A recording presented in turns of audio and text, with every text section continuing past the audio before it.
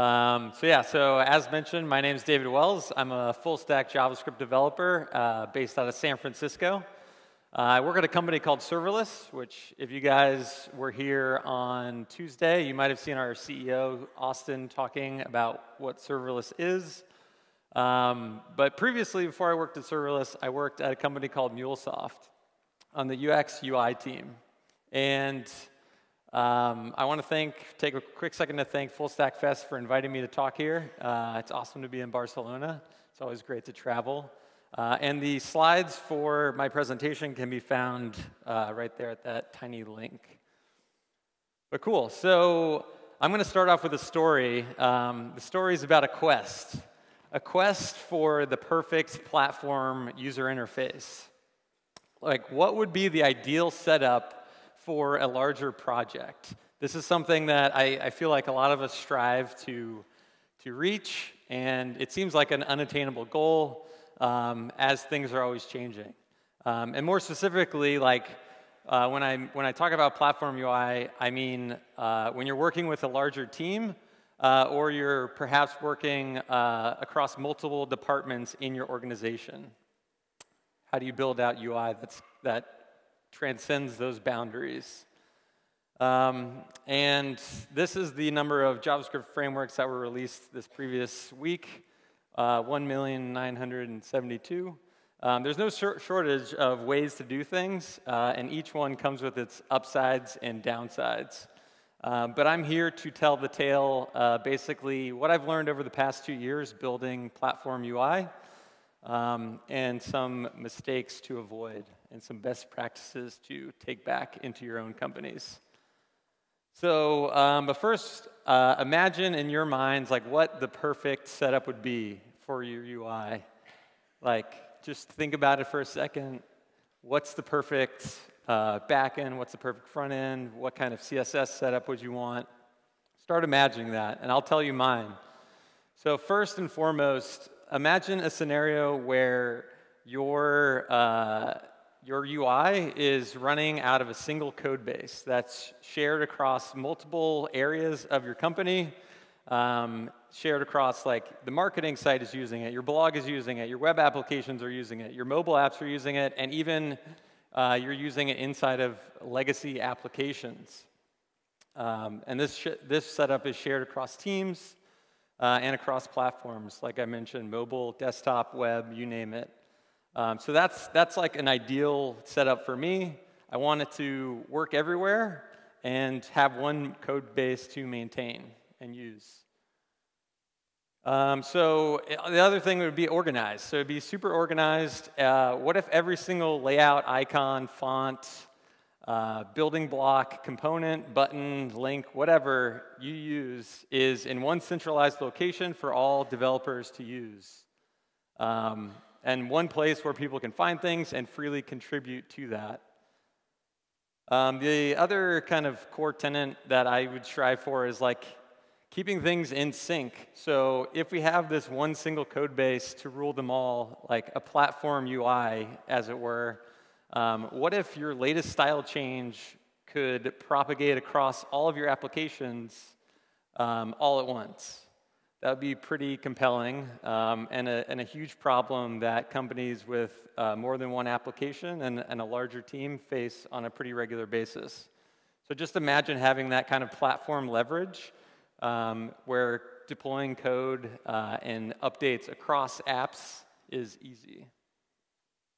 And even better than that, just imagine like a consistent brand experience for your end user. So every single thing that they touch, whether it's the marketing site, the blog, inside of your application, your mobile app, everything is cohesive and um, just feels like it was put together with care.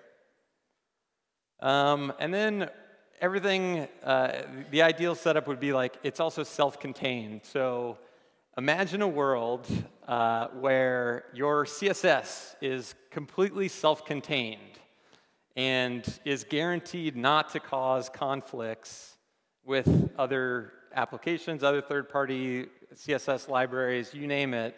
It's isolated. That sounds pretty compelling uh, to me. So, and then the, the last thing is like, how do we actually have a scalable solution that achieve all of these things and that work across the company? So, scalable from both a people perspective of is this code actually maintainable, um, and from a tech perspective as well, like does it work everywhere? Will it handle all of our needs? Is it performant, etc. And that's basically what we're going to be chatting about today. Um, basically platform UI, uh, building a component-based architecture. Um, and a component-based architecture basically enables all of this, all of the things that I told you guys to imagine are possible today with this kind of setup that I'm going to run through. Um, and more specifically today, we're going to be talking about a React component-based architecture, but there's no reason why these um, kind of ideas and methodologies can apply to your framework of choice. So let's go ahead and explore this. So it all starts with a uh, design system. So a design system is basically a place where you formalize your user interface, all the different kind of layouts you have, the tonality of how your application is going to work, your brand. Uh, a lot of people call them style guides. Um, there's tons of examples out there on the web, um, but it just makes things easier for both internal and external people to consume um, and build things with. So there's a couple of different examples. So this is a really good one out of Salesforce called the Lightning Design System. I highly recommend checking that out. Um, they did a really, really good job um, basically baking in all the different rules for like how to do different layouts for like settings pages, for like for list pages, for feed pages, etc. Um, how all the different variations of buttons are managed uh, and stuff like that. It's basically how to do everything with their UI framework. Um, it's super handy, uh, I would imagine, for everyone inside of Salesforce and outside building apps for the Salesforce platform. Uh, but what we're going to be talking about today is uh, the component library that I built at MuleSoft, uh, and you can see it at ux.mulesoft.com. And basically, it's, uh, again, the one-stop shop where you can go and see um, all the different components that are consumable, uh, all the documentation, all the different icons, all the different colors, uh, all the variables and mix-ins available to developers. Um, and some actual layout demos and like kind of standards around that. So I'm going to skip the live demo till the end. Um, but yeah, so what lives in this style guide? So um, documentation, like I mentioned. So this is both documentation that's written by the team, but also documentation that lives directly in your code. So when you're, you're building React components, if you're using prop types, you can basically uh, automatically generate the documentation for your component library so you don't have to maintain text in a different place whenever you make a change in your code. That's automatically reflected uh, in basically your, your living style guide. Um, the other thing that I put in here is uh, a live code uh, playground where basically you can interact with the components, change the props, see how they uh, act and mix and mash them together. And we'll see that in the live demo.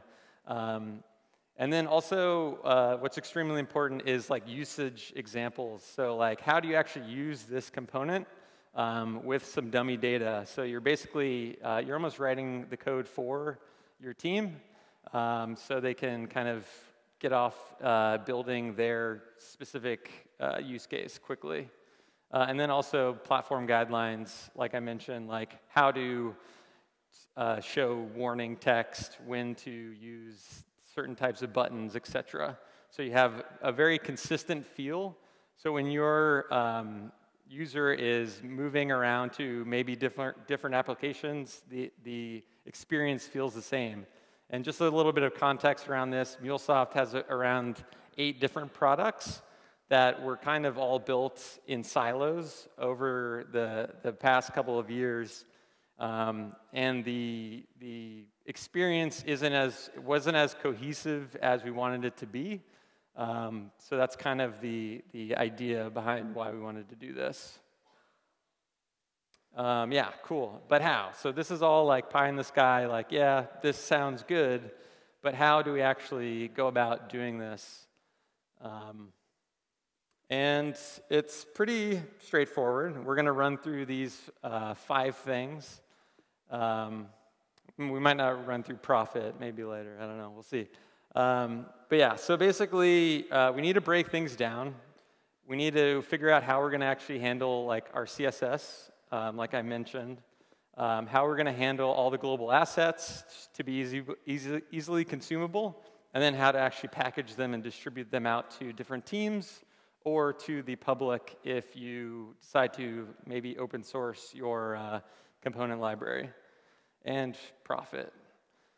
So cool. So this is uh, an example of like UI. This is uh, a demo on the um, ux.mulesoft.com. But basically, like start by breaking down a, a particular um, view of your application um, and start thinking about things as uh, components. Everything on this screen is a component. So every single tiny little piece, like the radio buttons, the, the chart, the icons, the labels, the drop downs, etc., like each tiny piece um, can be broken out into a separate component and reused across multiple um, areas of your application. So, you, so you, basically you start thinking about your UI in such a way where it's like, how can I build this um, design that the designer has given me uh, into uh, something with the most, like the maximum amount of code reuse. And that's really what like React, um, the kind of core um, philosophy around React is like, how can you componentize things and make the code easily easy to reuse? Um, and then uh, after that, you basically have like once you have all the little tiny pieces, the individual components, uh, how do you compose those together to create maybe more complex components? Um, and here we have an example of like, so the nav bar is a component, the detail pane is a component, the menu is a component, and like the table is, they're all made up of smaller pieces. Uh, but for the consuming developer, they're just pulling in that one larger piece. And this kind of riffs off of uh, a concept called atomic design by a guy named uh, Brad Frost. I highly recommend checking out uh, his post on this, where basically he says like, okay, take atoms, like little tiny pieces of your application, then compose them into molecules, then into bigger organisms, then into page templates, and then finally like full actual done pages. Um, this inspired me to kind of follow this pattern. We don't, we don't follow it exactly like that, but very similarly. So here's an example. So here are all like three tiny atoms or components, if you will, a label, an input, and a button. And um, basically, you can compose those together now to create a, let's say, a search box, or a form input, or a modal, or let's say it's a marketing like copy with a button thingy on the blog or whatever. So there's a lot of different ways that you can use these three components um, and compose them together to create basically uh, composed components to use throughout your application. Cool. So just to stress again, everything is a component. I'm a component, you're a component, we're all components. Okay, that's the moral of the story. Um, cool. So what, what, is it, what does it actually look like? What does like a, a component look like in code? Um, this is the anatomy uh, in which we build components, um, where basically like all of our components live in a components repository. Um, every component gets its own folder. Every uh, component has like a component uh, name.js, so like button.js. That's where the actual source code of uh, the component lives. The styles live in there. Um, the tests live in there in that same folder. And then we have an index file for easy importing and exporting. Um, and then we also have examples, so usage examples. So uh, those exa that examples folder is actually what automatically generates the documentation uh, and live code examples on the, the site that I'm going to show you. Cool. So our approach at serverless is slightly different, um, a slightly different take on atomic design where we have the low-level components, Um, those compose into what I'm calling fragments right now. I'm trying to find a good name. That's what I came up with. Those fragments compose into layouts, and those layouts uh, compose into pages. So this is serverless.com. Um, it's built with our component library. So this is our front-end marketing site. Um, it's a statically built website uh, completely with React. Uh, and then we push that up to a CDN. Um, and yeah, so we can use the components that we're actually using in our applications that we're building and in our marketing site, on our blog, etc. So if we did ever make a change to, let's say, that the button um, design, that would reflect uh, throughout the platform, not just like in our app, and then we would have to go update, let's say, like WordPress or whatever we're actually, if we had that as our, our marketing site. Um, and under the hood, this is using, um, a, the tool it's using is called Phenomic, which is a static site generator that uses React. Super awesome. There's a link here in the slide to check it out. Um, yeah. So cool. So here's the obligatory Peter Griffin CSS slide that by law you must put in every presentation where you mention CSS. And we're going to talk about handling styles in your component library. So, um, yeah.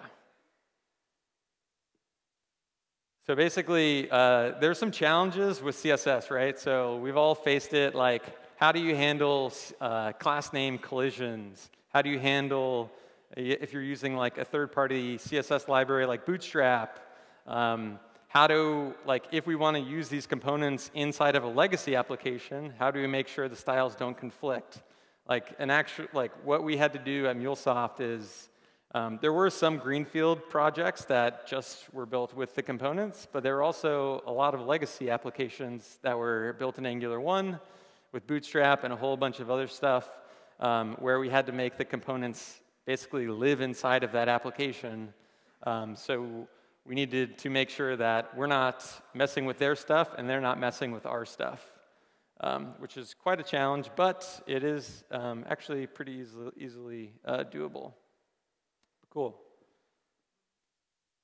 And this is a real quote from our uh, from our favorite um, presidential nominee. Um, Namespace collisions are a threat, and we must beat that threat. Um, if you really want your components to be standalone, um, we need to solve that. So how do we do that? So basically, we use um, a technology called PostCSS and CSS modules. And this works with Webpack, if you're familiar with Webpack. I have an entire like hour-long presentation on exactly how to do CSS with React. Uh, the links are right there. Um, and it goes through like all the different variations of how you can do styling. I'm just focusing right now on like my favorite uh, and the one that works best in this platform UI situation, which is PostCSS and CSS modules. Uh, but what PostCSS is, is you can think about it like it's Babel for uh, CSS. It'll turn your CSS into an abstract, abstract syntax tree, uh, and then you can uh, manipulate that. Uh, it's, it's exactly the same as, well, not exactly, but very similar to Sass and less, except just a little bit, I think, more powerful in my opinion. And you can do everything that you can do with Sass and less with PostCSS. Cool. So what does it look like? So this is a um, React component. Uh, at the top, I'm importing the styles from the CSS uh, file, and it's just normal CSS. But what's happening here is that styles that's being imported is actually, uh, so it's an, being turned into an object with uh, keys on it, and those keys are basically localized class names. Now your CSS names that you're writing normal CSS, so wrapper and like the class of button, get turned into um, this localized class when it actually renders to the page. And that's either if you're rendering on runtime or if you're rendering on the server, this is what it looks like. So, and that, that is customizable, by the way. This is, that's a long like name. Uh, you can just, for production, you would customize that to just be the hash at the end. So if you look at like Gmail source code or anything like that, you'll, you'll notice like they have crazy class names that are hash numbers. Uh, this is how you achieve something like that. Um, the other thing that you'd want to do is with PostCSS, there is a plugin called, uh, I believe it's called PostCSS Initial, where basically it uh, turns on a future CSS4 spec for you um, which basically is all colon initial. And what that'll do is it will reset all inherited properties, um, all, all CSS properties that can be inherited from a parent, um, and reset them to the browser defaults. So when you add that to your CSS, just all colon initial, when PostCSS transpiles your CSS, it will like basically polyfill that for the browser. So it'll reset that. So, so now you have like a completely isolated um, component uh, based off this unique class name, uh, which is awesome and something that we couldn't really do before very easily. Um, the other thing that you can do with like PostCSS and CSS modules is like use the CSS4 spec today. Um, you can do like A11Y linting for accessibility. Um, yeah, and you can poly, polyfill Flexbox back to IE8 if that's something you have to support. And, and I feel sorry for you if you do. Um, but yeah. So yeah, so many, many, many, many other things you can do with PostCSS and CSS modules. I'm Not going to go through all of this. Um, see the, uh, go check out the other talk that I did at the React meetup in San Francisco. But cool, so do you really need this? Um, if you answer yes to any of these questions, then yeah. If you're working on a team, like you could implement uh, BEM style uh, writing your CSS classes, but we're humans and humans make mistakes. This makes it so like you cannot make mistakes.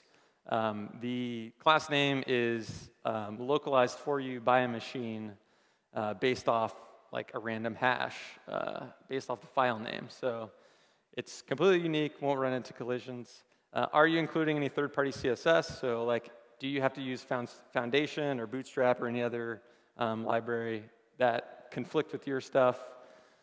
Yeah, that, this will kind of make your life a lot easier. Are you running in a third-party environment? The answer to this for everyone is yes, um, because the browser is a third-party environment, uh, meaning anybody could install any kind of browser extension and theme your app however they want.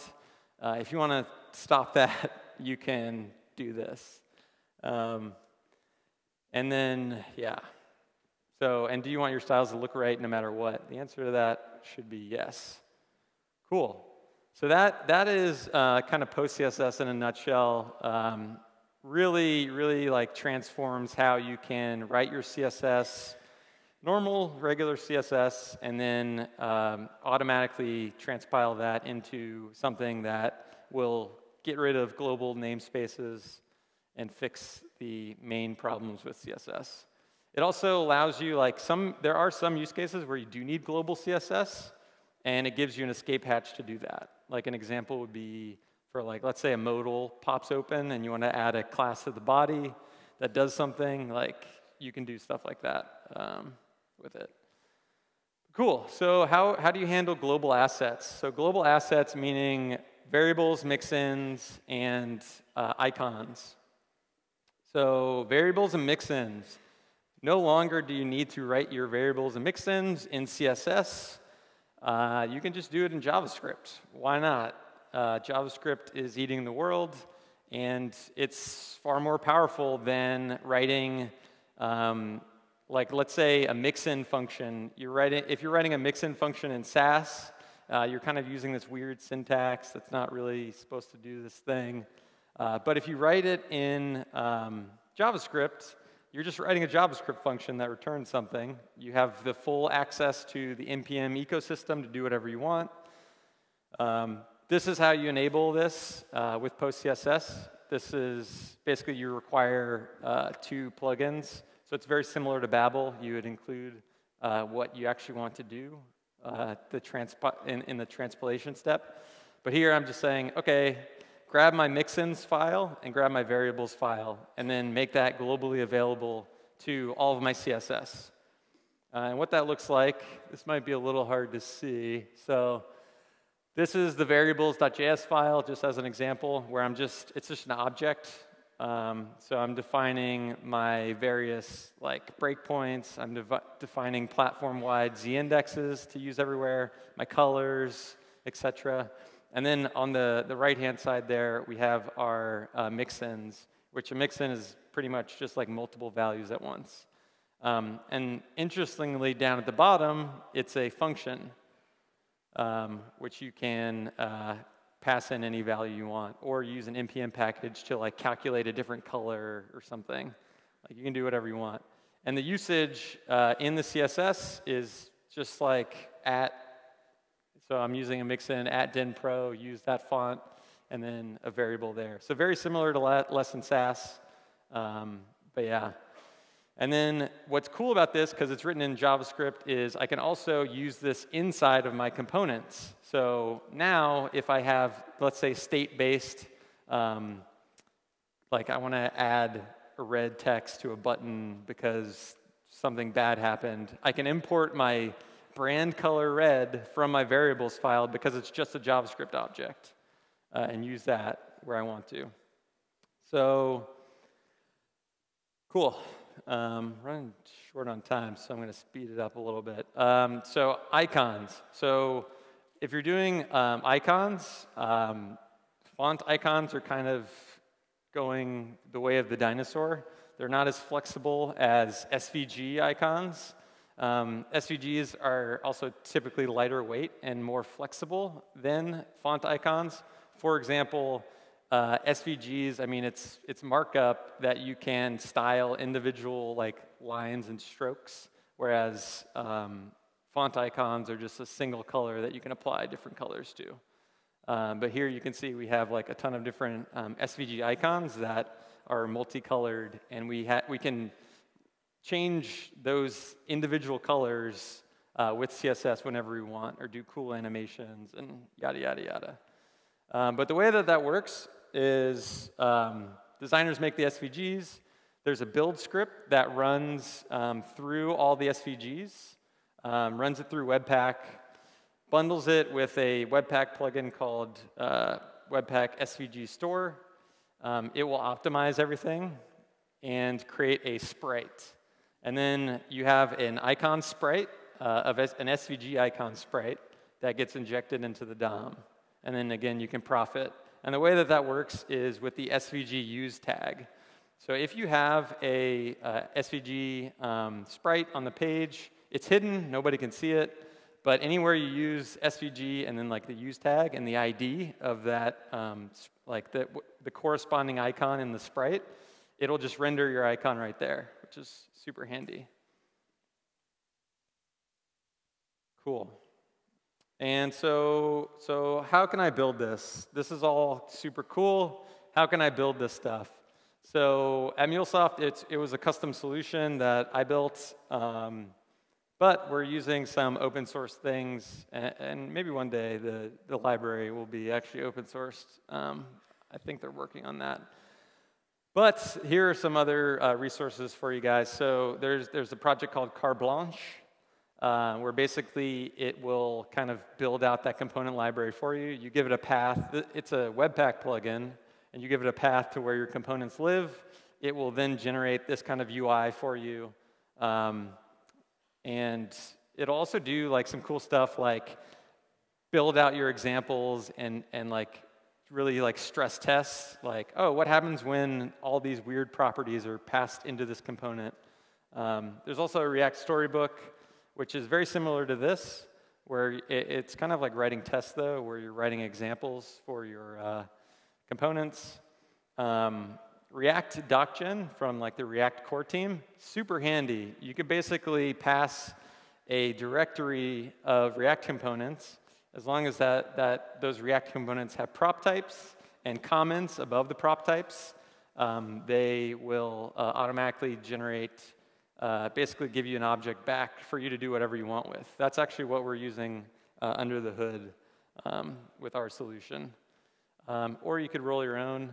Um, again, with React DocGen, it's a command line tool, but you can basically give it a path. It'll spit back all the data about that component, and then you can just render out uh, whatever you want. So you can get creative there. Um, we, so like our component library uses these two links at the bottom here, um, the React Component Illustrator and its corresponding Webpack plugin. This does the same thing as React DocGen, it's using it under the hood, but it also will grab those example files that I showed in that component um, anatomy, and it will take that example source code and also make that available to me in my like um, in the user interface for the uh, component library, so people can like see that code and interact with it. Um, so if you're interested in that, check out those two links. Cool. And this is a last minute, um, really awful diagram that I put in here, uh, where basically this is, this is kind of the idea. So you have all these consumers. Um, you have one single source of truth, your component library, where your components live in there. Your um, mixins live in there, your variables live in there, uh, all the font stuff, your typography rules, etc. And then when you make an update, um, you can basically propagate that out um, throughout your applications. Um, it's important to use semantic versioning. So if there are breaking changes, um, you want to make sure that those don't actually get passed through your CI CD system. But um, yeah, cool. And just to get you guys started, um, there's a bunch of uh, open source component libraries out there. Uh, many of them have this kind of like living style guide, which you could fork and kind of do whatever with. Um, but you don't need to start from scratch if you're working with React. There's tons of stuff to leverage, or just to see how um, specific components are um, built. Cool. So let's talk about distribution. So how do I actually get this out to my team? How can they actually consume it? Um, and that's just very simply with Webpack and with NPM. There's a couple important things to note, though, um, with this. So you want to, with your component library, you want to build each component separately. You don't want to build this massive index file or this like output to this lib file, because then if, let's say a consuming application is only using two components or three components or maybe four, um, they would in their bundle, they would have everything.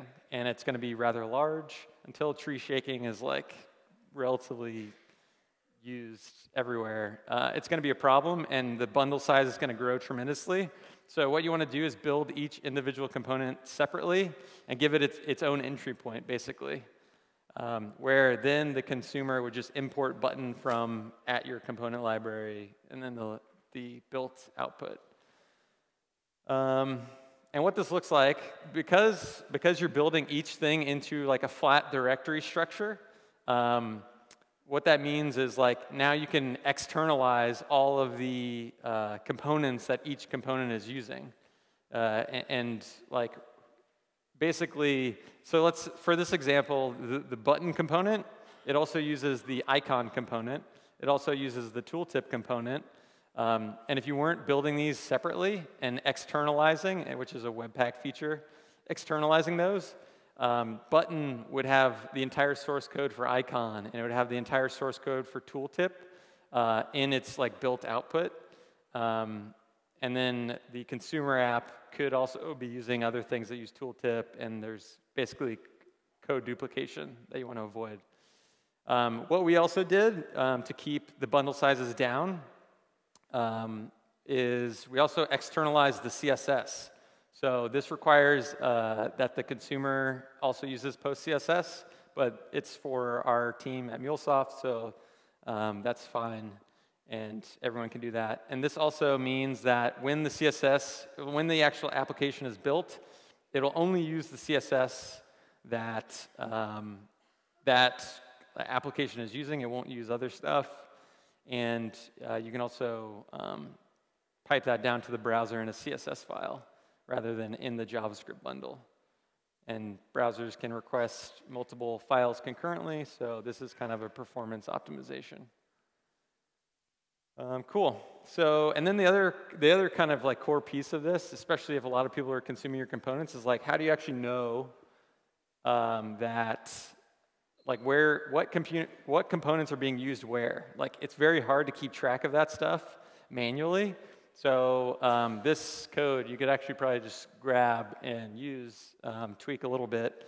But basically, um, this will, every time Webpack builds, it will parse through. Webpack gives you the entire, entire um, file structure of your application, all the um, things that are being imported. So you can basically just check and see, okay, what, what components is this consuming application actually using? Uh, and then report that back. So we set this up at MuleSoft to actually ping a Lambda function um, with the serverless framework, shameless plug, uh, to store that. So I actually know what version of the application it was, what components that they're consuming, um, and that basically like helps inform the team of, okay, we're making this, this change to component XYZ, who's actually consuming it? Okay, I can see that there's these three applications consuming it. Cool, when we make this change, let's double check those three applications that we didn't do something bad. Um, so it's important to have that kind of visibility uh, in there. Cool.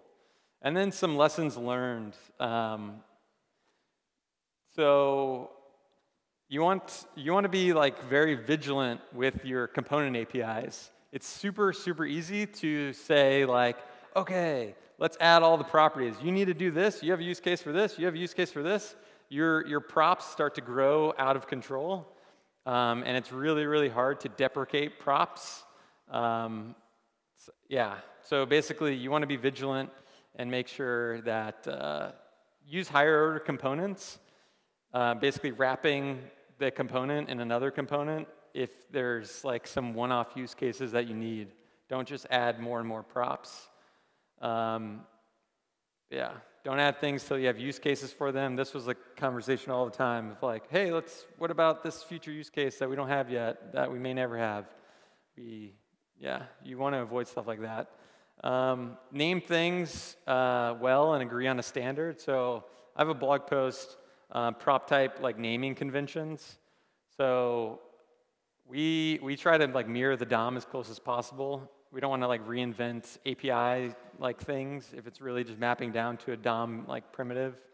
Um, use like really good naming conventions for props. Like for example, if it's a Boolean property, use is filled or is open or has value instead of just value or whatever, um, or filled. But yeah, and avoid unnecessary abstractions. Set up linting first. That's something that uh, I didn't do, which was stupid, and I had to go back and like update an entire code base later, which is painful. Um, test server-side render renderability early and often. Um, this is something that we didn't do in the beginning, and I had to go back and like retrofit a lot of code. Uh, if you are going to be rendering on the server, or if you want a static website like I showed, um, you want to make sure that you, you basically aren't doing any document or window calls in your components. But um, yeah, cool. So yeah, so some, let me actually, I'm going to show you guys the component library, and then I'll wrap up with some final thoughts. So this is the uh, MuleSoft component library. Um, we have basically all this stuff um, automatically generated from the source code. Oh.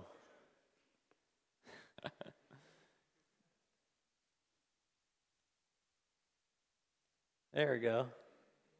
So this is it. Okay, no, this is going to be hard to demo now. Um, okay, so basically these are all like, like working components. You can actually see the usage here of like, okay, here is my component. Uh, here's all the props that I'm giving it. Um, this uh, documentation, the prop types and the comments are automatically generated from the code. Uh, this is a live uh, code editor. So I can change this to danger, let's say, and you can see this is now a danger button. Um, but yeah. So it's basically like, this is exactly how you use this component in your application.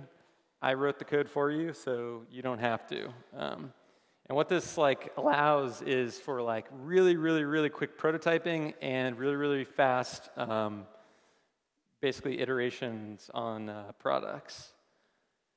Um, likewise, we have some demos um, right here.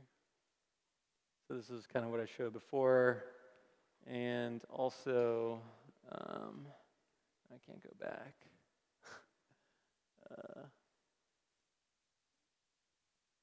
Show the,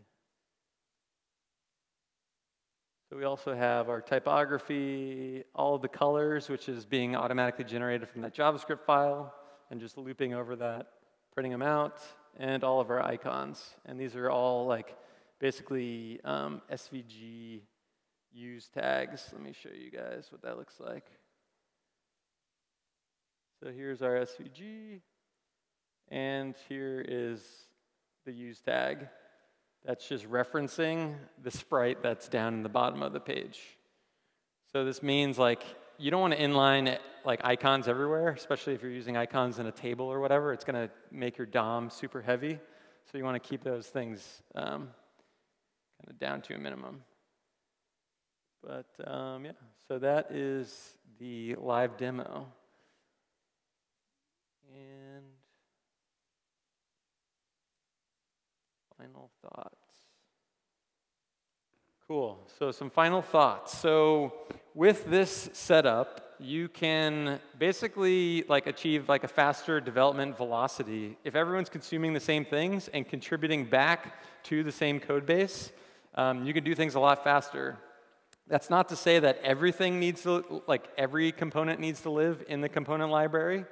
We did have some use cases where like uh, project XYZ had some custom things that it needed. So those components just lived in their repository. Um, and then sometimes they actually were like, oh, we actually need that in other things. Let's move that into the component library and use it elsewhere. But yeah, um, Individuals can work on these like isolated components without worrying about breaking things. Um, the main thing for me is like having a multi-platform uh, component library. So again, targeting mobile, uh, browser, and desktop, and having it like basically on all of our, our assets. So I don't have to maintain three different sets of CSS. I just maintain my component library and I can use that again on my marketing site, on my blog, on any demo apps, inside of the application, and you name it. Um, yeah. And you can render this stuff statically, so server-side rendering for better uh, user experience and indexability.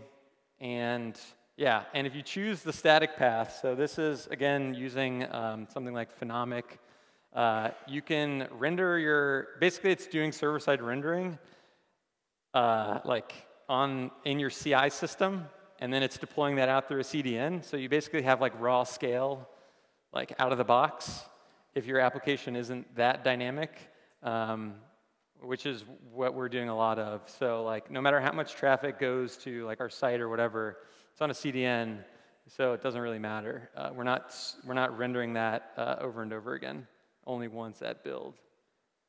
But yeah, so that, in my opinion, is like the future stack. Uh, and I hope that was informative. And yeah, let me know if you guys have any questions on Twitter. I'm at David Wells. Um, yeah, and these are my favorite pieces of technology right now. Cool.